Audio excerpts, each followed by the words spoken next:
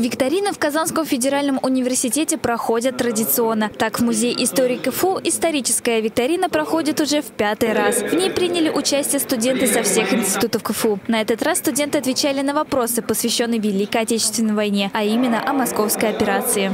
Э, в истории Отечества было очень много знаменательных дат. И такие даты, как Великая Отечественная война, она э, как бы цементирует общество по постсоветское нужно и студентам активно участвовать.